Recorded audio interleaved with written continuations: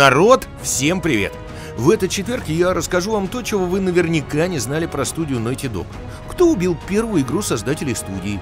Откуда там взялся Ник Дракман? И как сотрудников Naughty Dog чуть было не пришибли железной трубой? М? Поехали! Все началось с большой любви двух пацанов к видеоиграм. Основатели Naughty Dog, Джейсон Рубин и Энди Гевин, встретились еще в школе. Однажды они, обсуждая игрухи ранних 80-х, да обсуждались до того, что открыли собственную студию. Сообразили на двоих название Jam Software, что расшифровывается как Jason and Andy Magic, магия Джейсона и Энди. Правда, в их первой разработке не было ни заклинаний, ни драконов, только одна математика. Программа называлась Mav Jam, и ее главной миссией было научить первоклашек основам арифметики. Затем подростки почти изобрели симулятор лыжника. Почему почти? А потому что однажды Энди взял дискету с единственной копией игры и случайно записал на нее что-то левое. Это так разозлило Джейсона, что он намутил новый код с нуля всего за одни выходные. Так появилась Sky Crazed, которая разошлась тиражом в 1500 копий и принесла парням по 2 бакса за каждую. А теперь пара слов о том, чему никакие невзгоды не страшны. Игровой ноутбук TUF Gaming FX 506 от Asus отличается повышенной, прям-таки армейской надежностью. Можно выбрать 15 или 17-дюймовый вариант. Начинка в любом случае будет богатой. Процессор Ryzen нового поколения 4000 серии и видеокарта GeForce RTX 2060. Причем такая видюха позволяет не только играть, но и стримить в максимальном качестве. Поддерживается трассировка лучей, а также имеется функция DLSS 2.0, которая при помощи нейросетей делает изображение более резким и контрастным. А еще она позволяет до двух раз увеличить число кадров в секунду и при фиксированной частоте обновления экрана на 20% повысить время автономной работы ноутбука. В итоге имеем отличный ноутбук по адекватной цене.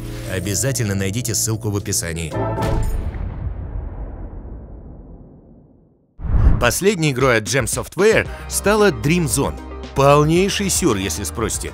Но народу зашел и продался уже в 10 тысяч копий. Тут-то друзья-товарищи решили, что рано или поздно магия должна закончиться, а игра по-взрослому начаться.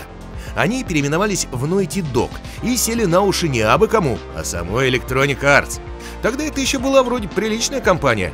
Она откликнулась на зов 18-летних чуваков и стала с ними сотрудничать. Под крылом электроников молодые псы выпустили пару игр и в том числе неплохую ролевуху Rings of Power для Sega Mega Drive. Тут-то и случился конфликт. Параллельно электроники выводили на рынок симулятор американского футбола Madden NFL. На его раскрутку бросили все средства, а потому издатель решил сократить тираж игры от Naughty Dog, чтобы сэкономить деньги на производство картриджей. Такое вот кидалово. Кстати, если не знали, у Naughty Dog есть свой маскот – разгильдяйного вида пес в моднявых очках, который впервые появился в стартовых заставках старых игр и в том числе уже упомянутый Rings of Power. С ней, кстати, все было еще интересней, потому что вместе с псом на заставке мелькала и девчуля-красоточка, с которой с помощью специального магического кода можно было снять футболочку. Вот же шаловливые псы, а! Но вернемся к нелегкой судьбине начинающих разработчиков. Наученная горьким опытом, Naughty Dog принялась создавать следующую игру на собственные средства, без всяких там издателей. Так от Рубина и Гевина вышел файтинг для консоли 3DO Way of the Warrior. Получилось, конечно, всего лишь личинка Mortal Kombat, но этого хватило, чтобы игру и студию заприметил Марк Церни. Да, тот самый грандмастер SSD для пятой плойки. Он-то и предложил Naughty Dog заняться играми для PlayStation 1. Как теперь вспоминают основатели студии, сотрудничество с PlayStation было лучшим решением, которое они принимали. Ну вот, а вскоре началась эра Крэша, в смысле эра народной любви к Крэшу Бандикуту, главному герою легендарной серии от Naughty Dog. Между прочим, изначально Крэша должны были звать Вилли Вомбат. Вариант тоже неплох, но Крэш все-таки лучше. Причем настолько, что в честь персонажа был назван целый вид реальных бандикутов, правда уже вымерших. Так что завести себе домашнего крэша бандикута не получится. Последний из них остался в Австралии эпохи Миоцена. Виртуальному же Крэшу, несмотря на все внутриигровые перипетии и хроническую ошалелость, повезло больше. Он быстро стал символом PlayStation. Причем настолько ярким, что в 94 году стенд Крэша поставили напротив стенда с нинтендовским Марио. Ну, консоли менялись, на смену первой плойки пришла вторая, а потом и третья. А на смену Крэшу явились не менее узнаваемые Джек и Декстер. Попутно менялись численные студии Naughty Dog и даже ее руководство. В 2004 году Энди Гевин и Джейсон Рубин уступили место у руля молодым менеджерам Эвану Уэлсу и Кристоферу Балестре. Дороги пацанов-геймеров разошлись. Энди решит заняться разработкой социальных приложений, а Джейсон выпустит комикс Iron Saint и усядется во главе издательства THQ, которое при нем же и обанкрутится. Перед тем, как уйти, Рубин успел нанять на работу одного весьма примечательного сотрудника – Нила Дракмана. Тот был заядлым посетителем всяческих игровых выставок, и в 2004-м ему удалось попасть на GDC, крупнейшую конференцию разработчиков. Там-то эти двое и встретились. Рубин устроил Дракмана программистом-стажером. Первой игрой Naughty Dog, которой Нил приложил руку, стала третья часть Джека и Декстера. И Дракман так хорошо себя проявил, что его даже перевели в геймдизайнеры – ну и пошло-поехало. Uncharted, Last of Us. Названия мощные, но знаете, как называлась самая первая игра Нила еще в дапсовую эпоху? Дикий пингвин Ин. Не шучу, выходил на Нессе, между прочим. Сейчас Naughty Dog – монстр игровой индустрии, и попасть в эту студию удается далеко не всем. Один из художников, работавших над Uncharted 4, рассказывал, что тяжелее всего приходится именно его собратьям по ремеслу. Среда конкурентная, нужно быть готовым к череде бессонных ночей. Лично он, когда устраивался в Naughty Dog, потратил на подготовку тестового задания, внимание, три месяца. Само собой, нужно на зубок знать все игры компании. Руководители арт-отдела лично изучают портфолио претендентов и ищут тех, у кого прокачан скилл в изображении реалистичной анатомии. Также ценятся навыки скульптуры. И только затем идет текстурирование персонажей и работа с UV-разверткой. Короче, я понял, что лично у меня шансов точно нет. А вот Кассина Карадонна, самая обыкновенная девчонка, своего шанса не упустила.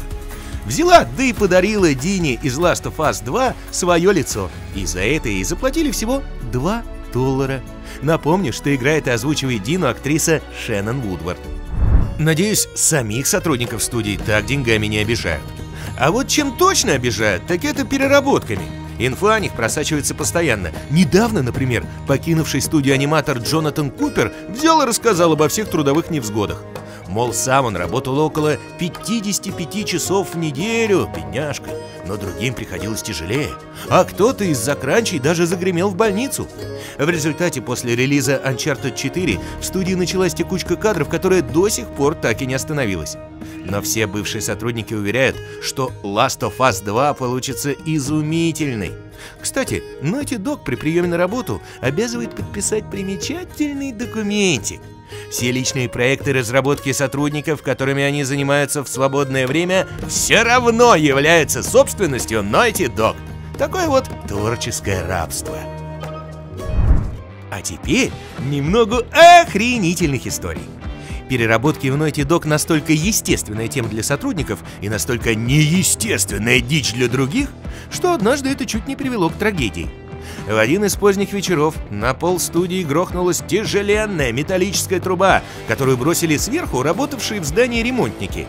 Аккуратно ее спускать, видимо, было лень. Им даже в голову не пришло, что так поздно в офисе могут быть люди. Но они были. К счастью, никто не пострадал, а вот ремонтную команду пришлось уволить. И еще кое-что напоследок.